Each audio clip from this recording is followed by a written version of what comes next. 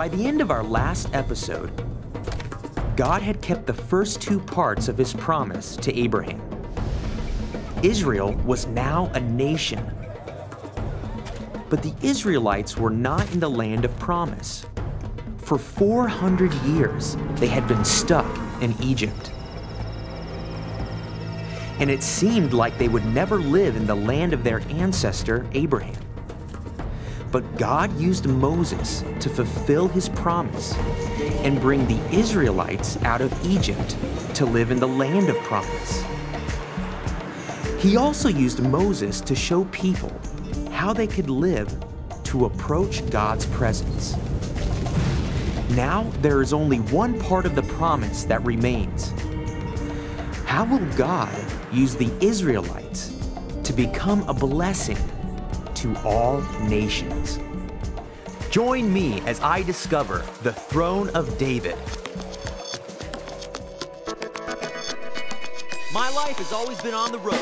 Ever since I was one week old, I've traveled the United States and the world. You could say I'm a modern day nomad. What I love about traveling is meeting new people, discovering new things, and getting to know more about the vast body of Christ that flows around the world. This trek will take us to the land of the Bible. I'm Stevie, and you're watching Stevie's Treks.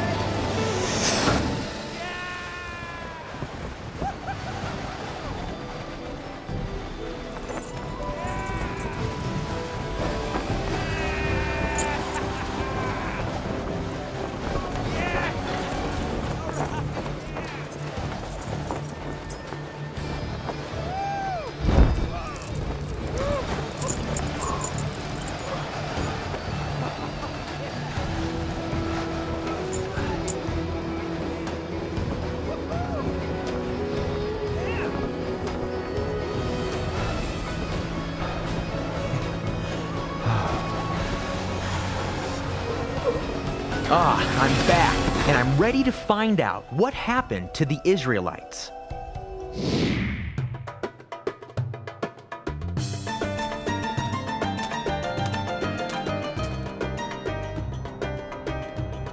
So, this site, Tel Jericho, is the place where the Israelites came after they had been wandering in the wilderness for 40 years. This is the site that they came first. God told the Israelites that Jericho, along with the rest of Canaan, would belong to them.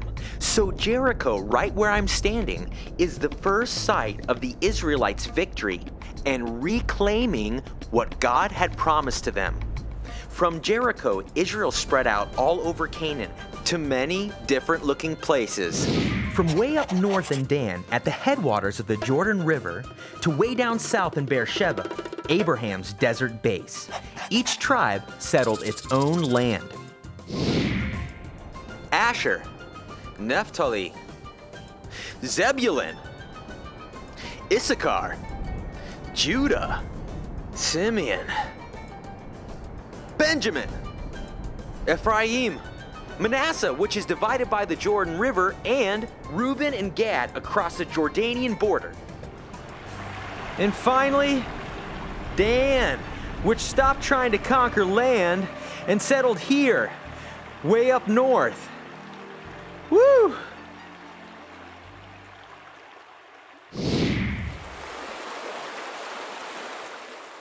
Now that they were back in the land, God would use the Israelites to fulfill the fourth part of his promise. They would be used to bless all nations so that the whole world can live in the presence of God just like the Israelites could. But it would be a long time before that would happen. Now that the Israelites were in the land, I wanted to find out what happened next. So I decided to ask Cyndi Parker to come along with us. She's an expert in biblical history and geography. Okay, so what's the main story of Shiloh? Well, you've been in the wilderness, right? Yeah. Okay, so you saw lots of tents, Bedouin, people out with their sheep and goats. A lot of sand. Lots of sand. Yeah. and finding water is really difficult. So the Bedouin have to move all the time with their animals. Right. It's like the Israelites when they were in the wilderness, all that time moving. Okay. Then they cross the Jordan River, they're at Jericho, and then they come up here. And you can see this land is so different. It's hills and you can terrace these hills and there's lots of agriculture and there's water. There's actually grass. There's grass, there's greenery. It's really beautiful. Okay, so Shiloh, being surrounded by so many hills, seems to be a protected spot. Do you think that you could hide something valuable here? Yeah, in fact, the Israelites put the tabernacle, their most valuable possession, here. Okay, so talk to me a bit more about what the tabernacle actually is. When the Israelites were at Mount Sinai, God told Moses that he wanted Moses to build a tabernacle for him, which was a tent, and God could dwell in a tent, just as his people were dwelling in tents. And then, as the Israelites wandered for 40 years in the wilderness, God could move and be with his people. So, God's presence was among the Israelites while they were wandering in the wilderness. Yes, and then when they come into the land and they're up here settling down, uh, they bring the tabernacle here. To Shiloh. To Shiloh. So the tabernacle was here. Exactly. You think we could find it? Let's try. All right, let's go.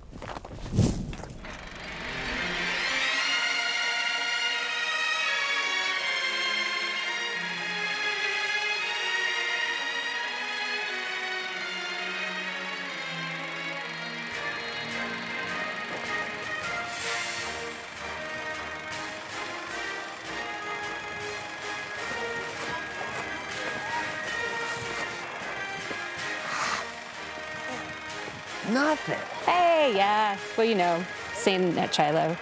I'm waiting for Stevie. He's going to find the tabernacle. Yep, I know. Okay. All right. Cyndi, did you find anything yet? Uh, no, no, haven't found anything yet. There's just a couple more here.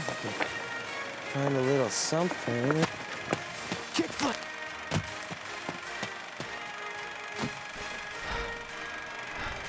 Have you found anything yet, Cyndi? No, I haven't. How about you? No. Well, did you find anything? No, I, I found some rocks. uh, that's about what I expected.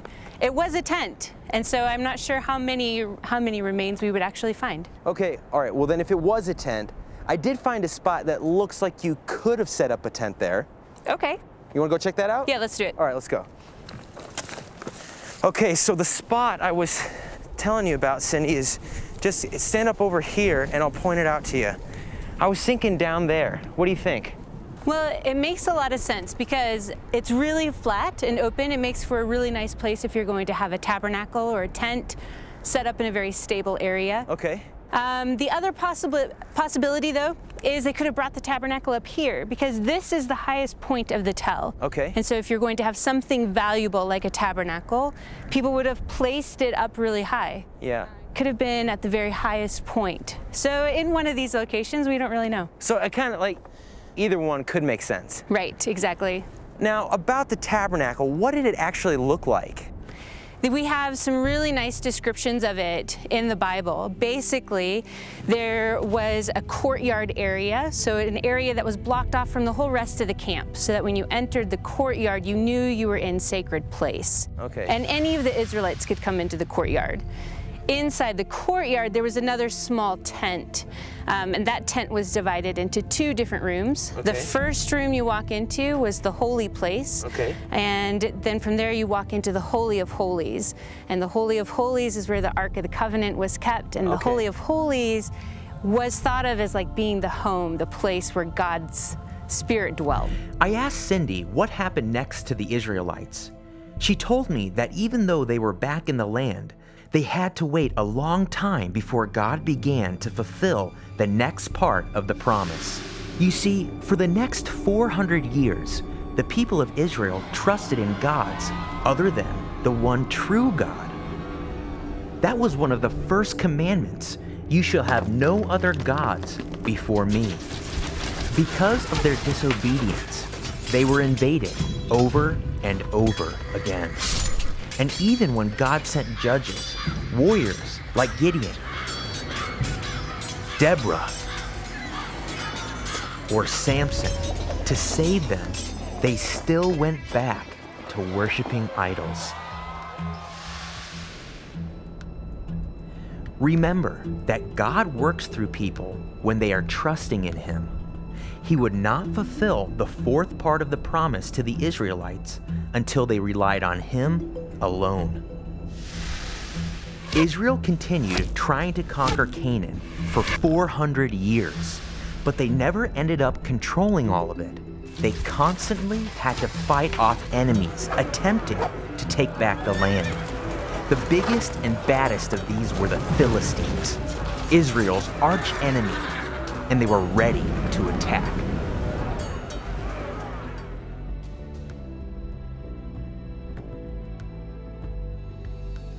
By now, Israel was ruled by a king, Saul. Saul gathered his army here on the western side of the valley of Elah. The Bible tells us that King Saul had disobeyed God's instructions. God had found someone else to replace Saul as king. That person was David. David was a shepherd boy, and he grew up in Judah, in the town of Bethlehem. He was the youngest son of Jesse. He grew up in a time of war. His home was constantly under the threat of the Philistines. But God had a plan for David's life. He was about to change everything.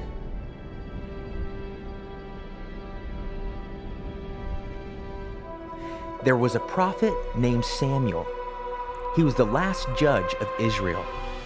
He helped the Israelites know what God wanted them to do, and God had told him to anoint a new king.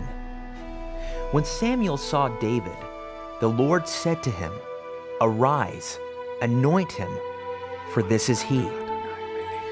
Samuel took the horn of oil and anointed young David in the middle of his brothers.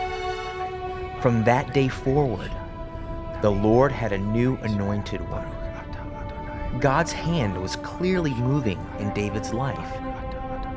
David would someday be the king.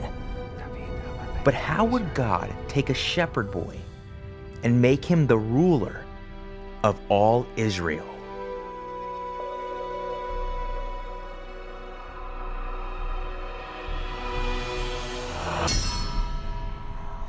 The Philistines had moved towards Bethlehem.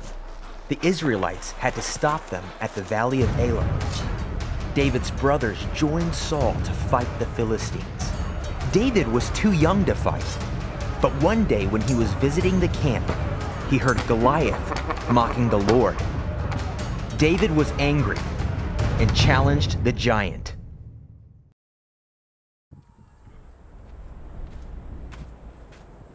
Okay, so here we are Goliath, a nine foot giant armed to the teeth, against David, a shepherd boy with a sling.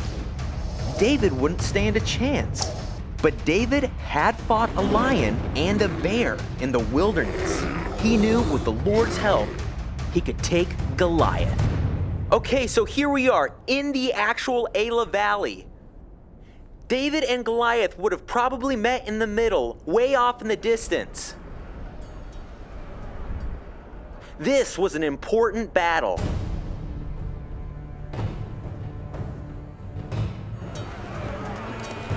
When Goliath saw a small shepherd boy coming to fight, He laughed at him. But David shouted confidently that God would win the battle for him so that all may know that God was in Israel.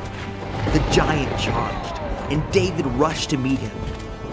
He stopped and quickly put a stone in his sling and swung.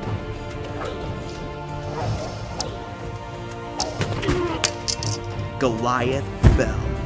David had hit him square in the forehead. God was in Israel, and David was a hero.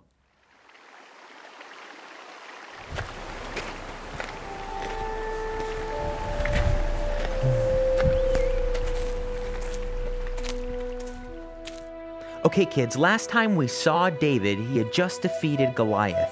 And as you can imagine, he instantly became famous and he grew in his fame by fighting so many Philistines. But God had even more for him. God promised him to be a king of Israel. But remember, Israel already had a king, Saul.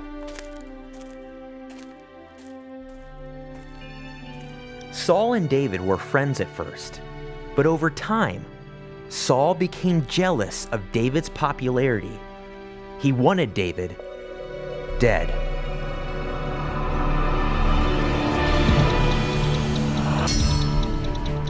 David fled into the wilderness. Here at En Gedi, he hid among the valleys in this region. He ran from Saul for about seven years, going in and out of the wilderness. As he hid from Saul in the wilderness, he was always thirsty, always searching for water and a safe place to hide.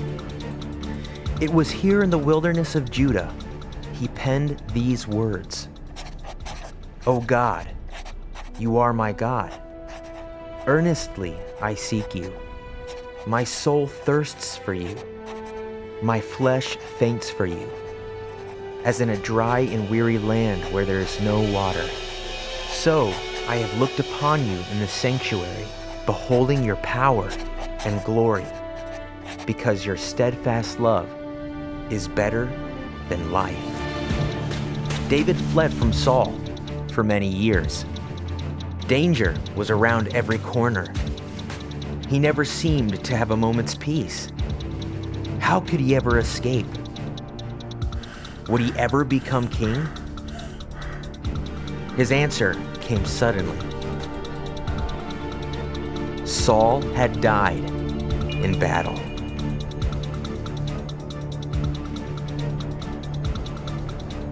David, with his small army, took control of the southern tribes.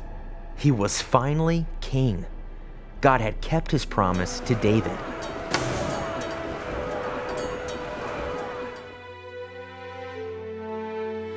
Even though David was now king, he had a lot of work to do. He had to unite the tribes of Israel into one kingdom. He needed them to be like they had been in the wilderness with Moses, where God had begun to live among them in his tabernacle. The Israelites needed a reminder.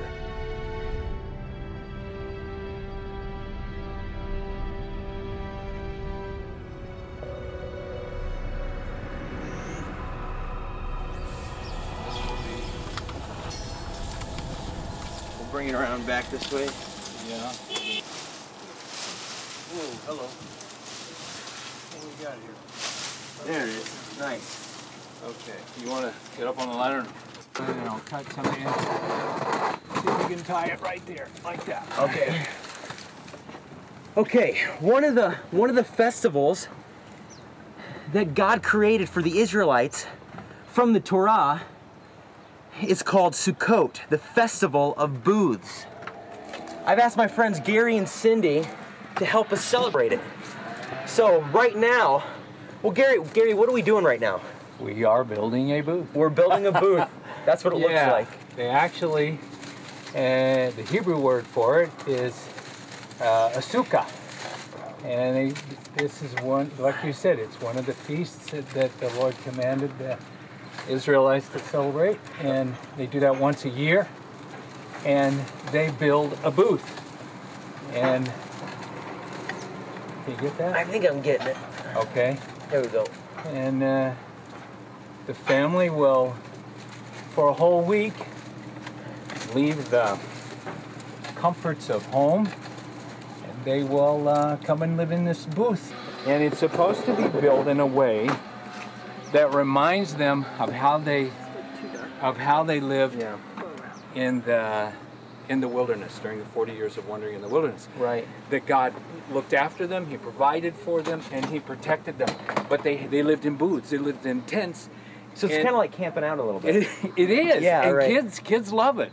The only thing they, they say that you have to be you have to have a leafy kind of a roof For sure.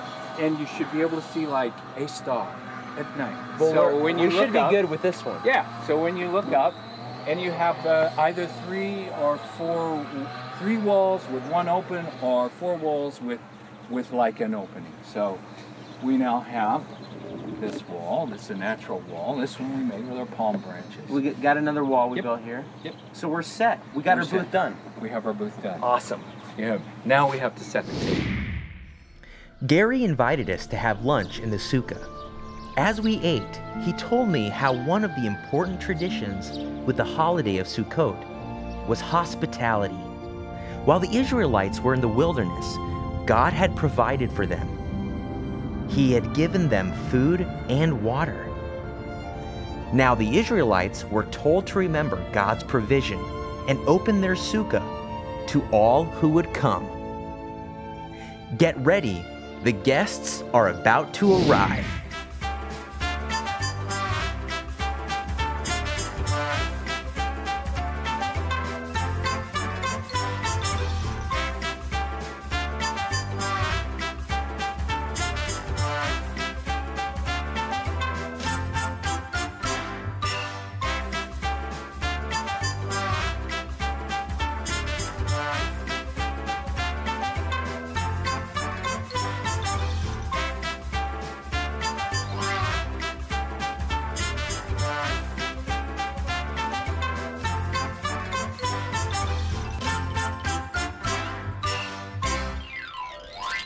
Man, I didn't know I had so many friends. Okay, after David had been king for a while, he thought, I should build God a house. I'll build him a temple. After all, if the Israelites had moved out of their tents into homes, so should God. So David asked God. Strangely enough, God said no. David's son would be the one to build the temple. But God gave David an even greater blessing. Remember that the Israelites were not yet ready to fulfill the final part of God's promise to Abraham. Israel still had to be used as a blessing for the whole world. And here is when God made another promise. God promised that David's descendants would sit on the throne of Israel forever. God also promised that one of these descendants would bring the blessing to all the nations. God would fulfill the rest of Abraham's promise through David. David continued to unite Israel as a nation in following the Torah, the instructions of God. One of the first things David had done when he became king was to establish a new capital for his kingdom. He wanted a city that did not belong to any one of the tribes. Instead, he wanted a city located in a place where all the tribes could feel equal and at peace.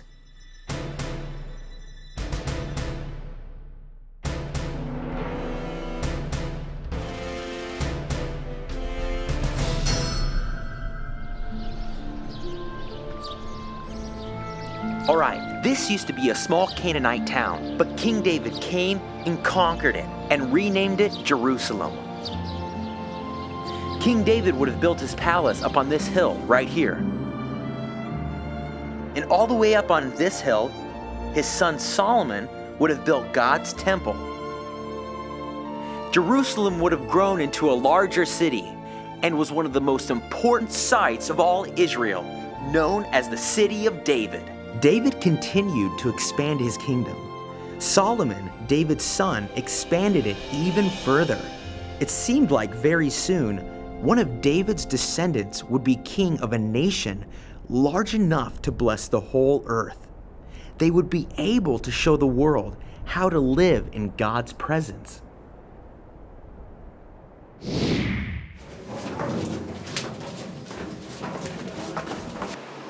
Okay, so here we are underneath the city of David, the ancient core of Jerusalem. Now, one of the things you've got to know about Jerusalem is it's built on a couple different hills. And at the base of these hills, on the outside of the city walls, is this water source, the Gihon Spring. You've also got to understand water is essential for survival. 300 years after David, King Hezekiah builds this tunnel from the city down to the spring. In case they were ever to get attacked, they still could get water.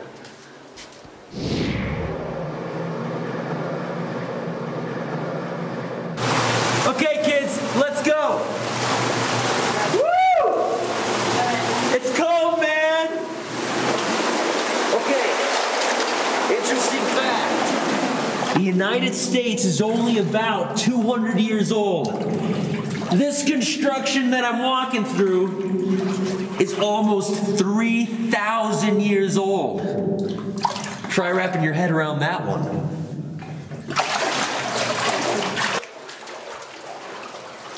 As I walked through the tunnel, it almost felt like I was walking back through time.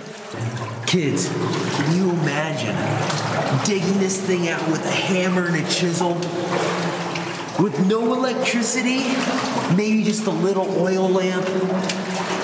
Man, that would have been pretty scary.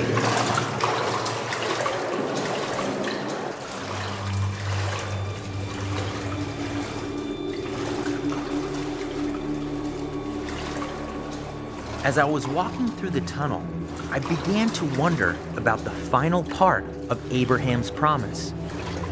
If God was going to use a king in David's line, why was it taking so long?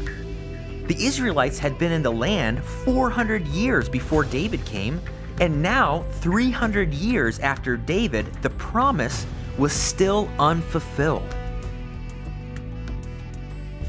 What happened?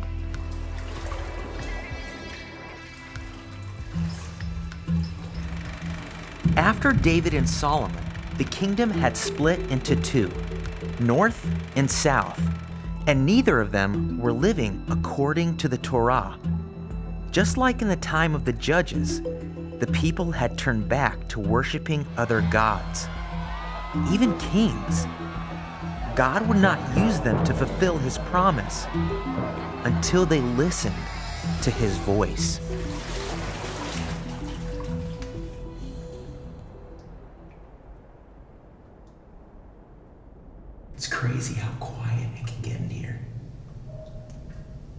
All you can hear is the wind coming and going. You know, it makes me think how far away the Israelites went from listening to God's word, the Torah. Maybe if they would have just stopped and listened. God sent the Israelites prophets like Isaiah, Jeremiah, and Ezekiel, who told the people and the kings to stop their idolatry and to live in the way the Torah instructed them. The prophets were laughed at and sometimes even killed. As he had done in the time of the judges, God decided to punish his people because they would not follow his voice. He withdrew his presence from the temple and allowed both kingdoms to be destroyed. The land of Israel was invaded. The Israelites were killed or taken captive. David's descendants were no longer kings. In fact, most of them had been killed. How could God fulfill any of his promises now? Would Abraham's descendants never be used to bless the whole world?